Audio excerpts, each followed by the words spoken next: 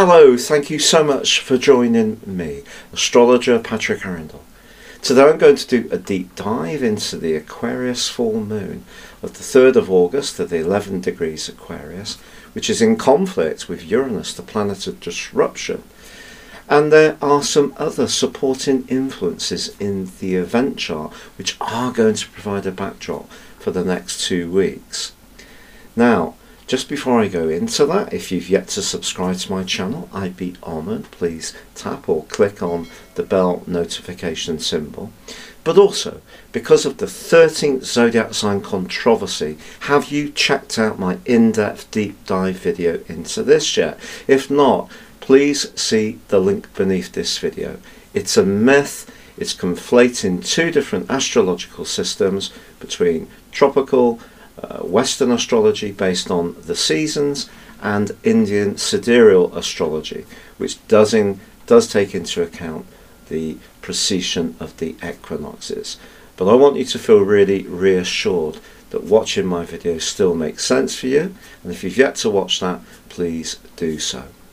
Finally, if you would like to chat with me directly, you can do so on Twitter at Horoscope Ace or drop comments underneath this video, or if you've yet to catch the daily astrology and tarot video show with Elisa and I, which is proving really popular and great fun, please see the link beneath this video. You can also grab your free daily written horoscope every single day. So here we are, the event chart for the Aquarius full moon on the 3rd of August at 3:58 p.m. Universal Central Time, which gives us uh, an ascendant at 12 degrees in Sagittarius. Now, what are the principal things about this chart and this event? Now, of course, as ever, we can focus on the moon's opposition to the sun. So, the sun is in the sign of Leo, which, of course, is very charismatic. It's very much about warmth, but it's about the I. It's about the need to focus on our own individual uh, interests and strands, whereas the moon in Aquarius is much more about how we connect to others. So finding a good balance between our individual uh, attention to our plans and also staying sensitive to other people, particularly our friends with uh, the moon in Aquarius, and perhaps our social situations, even if we are restrained by COVID, it's about working at keeping in touch. But what really makes this full moon stand out, and it's rather ironic because it's a mirror of the Leo full moon, which happened in February of this year, and that is that the opposition between the two is dissected by the rather restless, potentially rebellious energies of Uranus. Now, in this particular chart, Uranus is in the fifth house of pleasures, and the sun is in the eighth house of where we're invested and where we have commitments to others. In a more practical sense, it's about finance, longer term finance. And the moon's in the part of the situation that's to do with our immediate resources. So I think Uranus uh, in a T square with these two could make us more impulsive. We may want to splash out some cash to cheer ourselves up. We may want to um, be a bit more free, spirited, indulge ourselves, which is very Venusian, very Taurus, to indulge in pleasures. So, calorific goodies uh, with the sun in the eighth house, if there is something that is getting this down a little bit of a bit more of a psychological nature, or is even a lack of money or concern over resources because of the impact COVID has had, uh, finding some kind of escape or an outlet can definitely come through Uranus. But also, Uranus, of course, can make us very restless. And perhaps this full moon is asking us to reset something, or it's bringing something into the open that we're finding a little bit difficult. If you do have children, it wouldn't be a surprise if there was something going along, uh, going on with them that's proven to be unsettling. Now, what are the other influences that inform what this next two week period is going to be about? Apart from the sun's desire to basically do it its way, which is being uh, challenged by the more democratic energies of the moon and that more rebellious energies of Uranus. Well, the big one that comes out for me is Mars's square with Jupiter. Now, ordinarily, this can be an aspect, particularly in a natal horoscope, which can give someone real drive and desire and a kind of bravery, really, to uh, take on challenges and, and, go for it. I think in this uh, event chart, Mars is in the fourth house of sensitivities and Jupiter is in the first house of the individual. So I think not trying too hard is probably a good thing. And if we do have a plan that will impact on those closest to us, we can't expect them just to fall in line because we're showing an immense amount of enthusiasm, which is what that right angle can generate. Now, there's two more influences that really stand out for me. The first is that Saturn is in a direct opposition with Mercury and Mercury, even though it is in Cancer, is going to emerge into the sign of Leo on the 5th of August, which after its 10 week sojourn through Cancer, we're all going to be absolutely celebrating. But in this chart, it too, al- along with Saturn, is going across that 8 second house axis, the same as the Sun and the Moon. So I think our concerns about resources, income, uh, managing uh, our finances very much is borne out with this chart, but with the proviso that Uranus is kind of saying, but I want to do what I want to do and I want to live in the moment. The other final influence involves uh, the North Node and Venus, which are together in the seventh house, which is actually really sweet. And there may be someone who does really or is having an impact on our senses in a really positive way, but is that working? Is this a person who's really very realistic? With Venus and the node together in a quincunx, 150 degree angle, which is challenging, I think it's possible that our desire to just do what we want in the moment, which is coming through Venus, the node, and Uranus, is in contrast to the more uh, challenging earthen energies of the full moon in Aquarius and the opposition between Saturn and Mercury, which are asking us to try to be as sensible as possible, keep things in a kind of balance. It's the temperance card, I think, that I kind of get from tarot, uh, sort of really trying to find that uh, realistic balance where there's other influences that could see us being a bit more hedonistic, wanting to live in the moment, but also perhaps not being quite conscious of the wider impact that that could have. Now, please stay with me because next I'm going to share with you a detailed overview for each zodiac sign for this full moon for the next two weeks. So, this uh, full moon event for you, Aries, does show a conflict around the areas of your situation to do with your interactions socially, or perhaps even around your love life. And because Uranus is in the mix, you may find yourself more impulsive.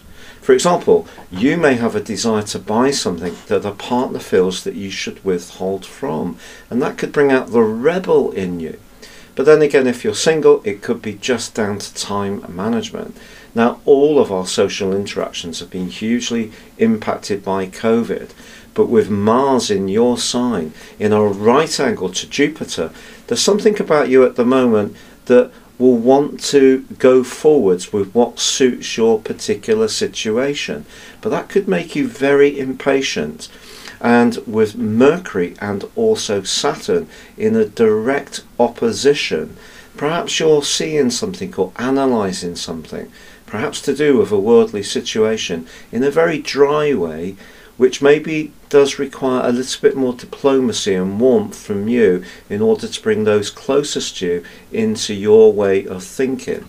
So, choosing our words carefully is always important, but particularly with Mercury in opposition to Saturn. So, it's not just the impulse that's going to come from Uranus to follow your own desires, it is going to be how you get your message across too. Taurus now, with Uranus in your sign dissecting in a T square this particular full moon, I think it's a work life balance issue that's really coming up for you, for me. Or is there someone from your past who keeps coming into your thinking? Entirely possible with Mars locked away in your 12th solar house. Perhaps there's some information that's coming to light or has come to light that you're feeling really quite impassioned by and this is making you want to have your voice heard. But with Mercury and Saturn in direct opposition, you could be more acerbic and a bit sharper about punching home your viewpoint. And just be aware that for the other person, that may feel a bit like an ouch moment.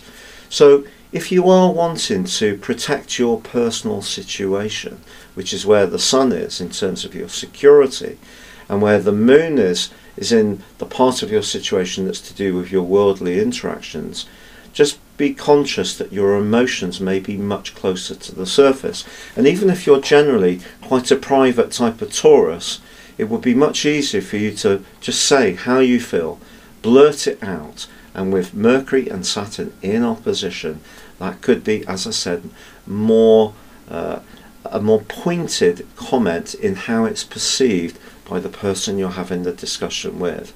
So, a little bit of diplomacy probably will help to sweeten any pill that you do need to deliver. Now, Gemini, in your situation, of course, the Sun and the Moon across your third and ninth house axes, which is very much about communication. The problem is that Uranus is, stop, is hinged in a very psychological part of your chart, and Uranus there is making you very restless. I think you've, in some way or another, felt a little bit on edge or unsettled, really, since the middle of May 2018. It came back that sense in March 2019, depending on exactly where the Sun is in Gemini for you. I feel that Uranus is putting you a little bit on edge at times. So uh, this next couple of weeks could see a battle of ideas, or perhaps you're trying to reconcile yourself about uh, something in terms of your thinking, and it could be about some kind of move, it could be a travel plan, it could be a business that you want to get off the ground. But if you are needing to discuss a financial matter, Venus in your sign is not in a great angle to Saturn. So you need to make sure that any fact finding you do or any presentation that you put to a financial institution is really well thought through, researched, and structured. Also, of course, your ruling planet Mercury is being challenged by Saturn too. So, if there is a discussion to be had, it may be that someone's going to be resistant to what you're trying to get across, and therefore try not to react to this with impatience if that should be the case. Now, Cancer. For you, the uh, moon is in the part of your horoscope to do with the things you share, where you're most invested, the eighth house. This is a very psychological location, but of course, the sun is in the sector of everyday resources. So I think that access for me is saying to you, balancing your income in the here and now with a little bit of an eye to going forwards is going to be the trick. But of course, because of COVID, if your income has dropped, it may be more about survival in the here and now rather than thinking so much about the longer term. And with Uranus jarring in a right angle to both these positions, you can't afford to be too idealistic about your resources. Now, Mars is giving you a lot of assertiveness in its location in Aries and will do so through to the first week of January next year. But don't be overconfident if you are having a discussion with someone in a position of influence or even a partner. Your enthusiasm may be infectious for some, but actually someone else could see you as just being totally unrealistic and maybe overconfident. So try to just bring things down to that basic foundational level of income and outgoings, doing your best with what you've got and trying to control any impulses that Uranus may throw up to sort of go off piste and be a bit more spontaneous and be in the moment. Now, for you, Leo, it's all about relationships this full moon. The next two weeks could bring a relationship issue very much into the open. And it's because the moon's in the part of your horoscope to do with your interactions with others, and the sun in your sign is giving you the desire to do things your own way. So it's about give and take, it's about collaboration, cooperation. If you can embrace those principles, there's a good chance that you can continue to move forwards. The problem is, if there is something that's not been quite right for a while, Uranus T squaring the moon and the sun suggest that if you have been feeling tense or someone's not really listening to you or you feel your rights are not being heard, the chances are you could be much more outspoken than is normally the case. In fact, the rebel in you could really come out. And it may be hard to resist this because Mercury is in a very psychological location and will be through to the 5th of August.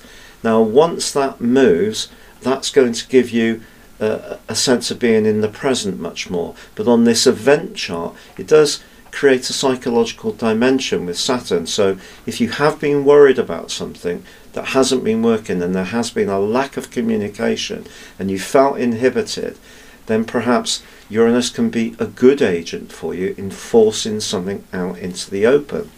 Also, you could feel very resistant to just always being the solver of problems. If people just think you're always going to deal with all the nitty gritty issues, that could be something that you could resist. Not least because Mars is clashing with Jupiter, and that's emphasizing your desire to be much more freedom loving. Virgo, now for you, the full moon occurs in your sector of details of everyday structure, the areas of life that you're generally very at ease with. But the sun's in the more psychological area, and with Uranus in your ninth solar house, that's the sector of freedom. So if there is a chore, a pattern of life, or there is some unspoken tension or opposition to you, perhaps at work, I think Uranus could see you actually expressing how you feel in a way that is not normally your style, but it will be difficult to bottle up whatever you may be suppressing. Also, in a love relationship, there's potential for real passion with Mars and Jupiter in a right angle. Great if there's someone that you're really drawn to who can reciprocate your interest. But in an existing relationship, if there's politics or possessiveness or jealousy, I think Mars can see you wanting to shrug that off and live in a much more dynamic and exciting way. Also, your ruler, Mercury, is challenged by the strict energies of Saturn. This goes across your 5th and 11th house axes. So this can be a real joy buster, to be honest. And if you are wanting to be more optimistic and more progressive, I think what the sun's saying to you is take it all back to the core of your being. How do you feel at a more psychological level? Then start making decisions of a more practical nature. Sometimes you can get so caught up with being always so practical, you can deny that more feeling side of your nature. So this full moon is asking you to challenge that somewhat. Now Libra, Mars, the planet of passion, continues in your opposite sign and will do through till the 6th of January next year. And that's clashing with Jupiter in your sector of home and family. If there is somebody who's frustrating you, then maybe this combination can see you being much more to the point, just saying it how you feel, asserting yourself, being more competitive even as well, even with a sibling or another family member. But the full moon itself occurs in your sector of joys, the fifth house. The sun on the other side of the heavens is in the part of your situation to do with your social interactions. Now, if you're spending a bit too much time with a partner and not connecting with your friends, that could create some resentment amongst them, but also the true, the same can be true and vice versa. So it's about finding a, a nice balance of your time management.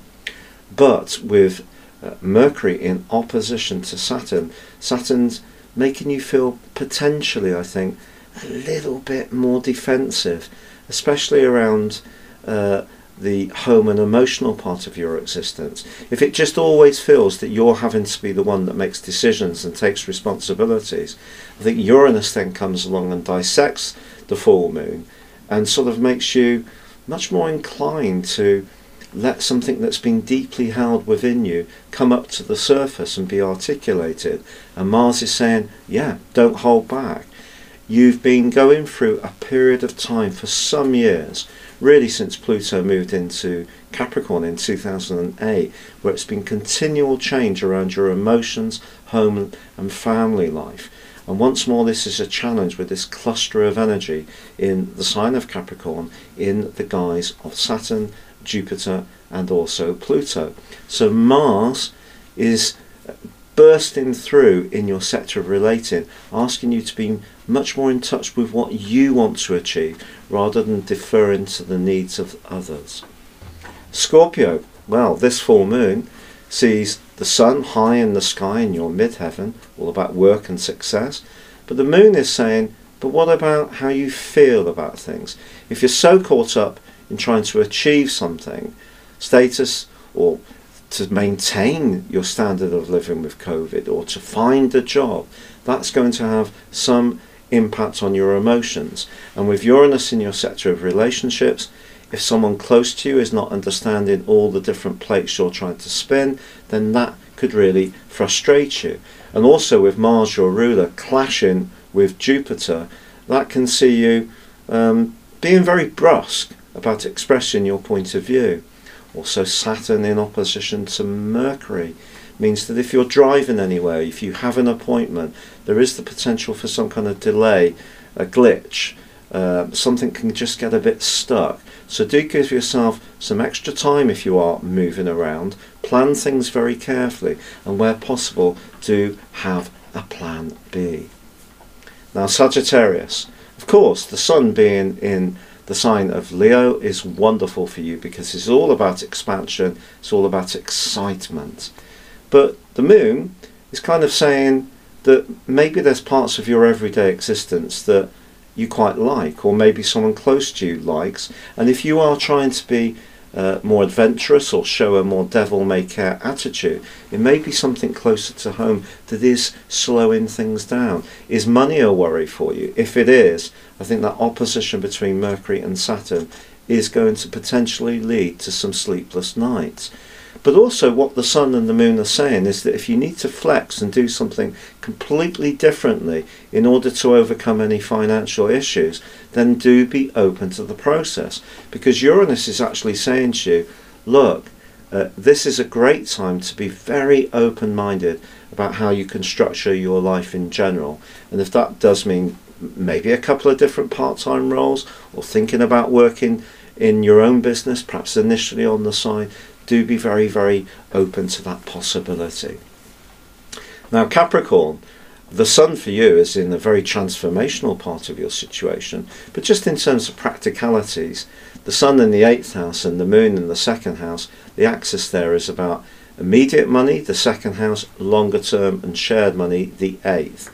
But then we have Uranus dividing the two, and that's saying that maybe you could feel more impetuous. If you are someone who likes and enjoys a little bit of retail therapy, this is a full moon which could see you tempted to splash out over the next couple of weeks. But if you are, then just ensure it's something that has some kind of practical benefit to you. Otherwise, you may end up with a, a clear case of buyer's remorse. Also, with Saturn, your ruler, in direct opposition to Mercury, if there's someone close to you that's not listening to how you really feel, this could really frustrate you, and maybe you feel that you need to be blunter with them. And with Mars in your fourth house, you could be less patient than usual with someone in the home sphere if they're not quite getting the direction of travel that you're following. Now, for you, Aquarius, this uh, full moon is fascinating in a way because it's the direct mirror of what happened with the Leo full moon in early February this year and that too was dissected by the T square with Uranus. So Uranus has continued to be a very important influence all year, and it's in your sector of home and family and emotion. And it's possible that things are changing there. You're seeing things in a different way. Maybe you're less concerned with that need for personal space that you've often had in the past. Maybe you're really craving for it big time now. But this full moon just suggests that if there is a relationship where you feel that you're very attuned to the other person and they're not very attuned to you, then that is something that really could stick in your craw. And I think with Saturn, your co ruler, in direct opposition with Mercury, you could find yourself in a much more um, punctilious mood, picking out little details that are not quite feeling right for you. But Uranus is uh, in the part of your horoscope to do with stability too. And that's a bit of a counterintuitive thing because Uranus can be so rebellious. And also with Mars in your sector of everyday expression, if there is something that comes up from the depths that you feel is a point of principle that you need to share, you likely will do over this next fortnight. That brings us, as always, to you, Pisces, definitely not least. But your sign uh, is influenced across the 12th and 6th house axes of your particular situation, which means that the moon, therefore, is in a very psychological zone.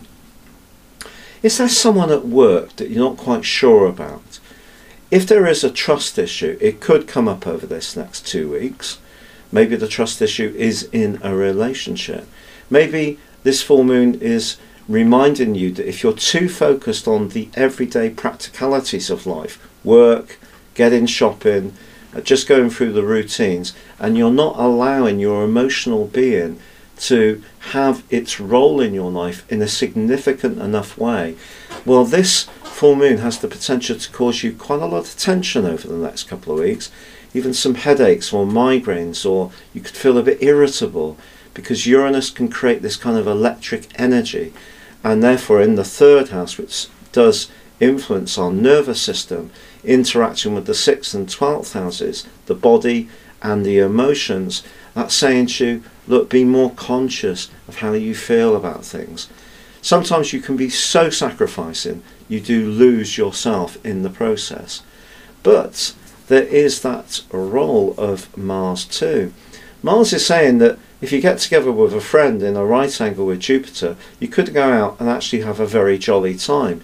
And even if you do splash some cash, maybe spend uh, uh, a lot of the time really enjoying some calorific goodies, don't beat yourself up about it. I actually think it could do you the world of good.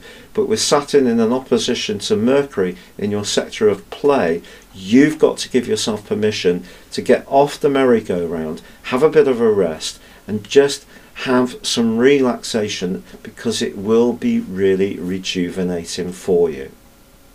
It's been a real pleasure being with you. Please don't forget to check out that Ophiuchus 13th zodiac sign video that's beneath. If you'd like to have a one-to-one video uh, consultation with me, please see my testimonials below. If you'd like to ascend into serious astrology without um, spending too much money initially, you can check out my very affordable range of reports below.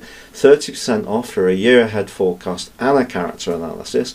But for now, stay safe, take care, and good luck.